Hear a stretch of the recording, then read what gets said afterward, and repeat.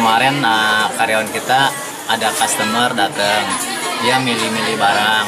Jadi karyawan kita kan melayani melayani. Nah mereka itu kan ada dua orang. Jadi satu orang itu kan milih-milih milih-milih barang. Nah ternyata dia ada temennya lagi.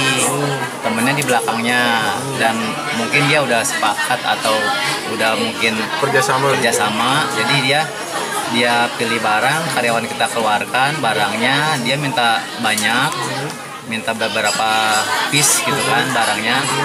Kita kan namanya mau belanja kita layanin. Nah ternyata dia selipin ke ke temennya ke belakang. Akhirnya temennya kan langsung masukin ke dompet atau kantong. Jadi yang yang milih tetap pilih.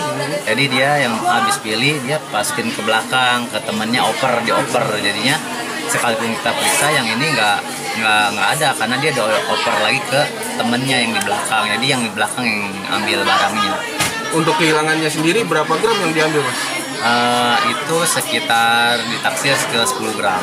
10 gram itu Iya. berapa nominalnya kira-kira 9 9 juta 200 9 juta 200. perkiraannya memang udah eh, ahli dalam hal seperti itu karena se- di itu pun kita lihat ternyata dia bukan di toko kita aja mampir Oh, di toko-toko sekitaran emas. sini juga. Iya.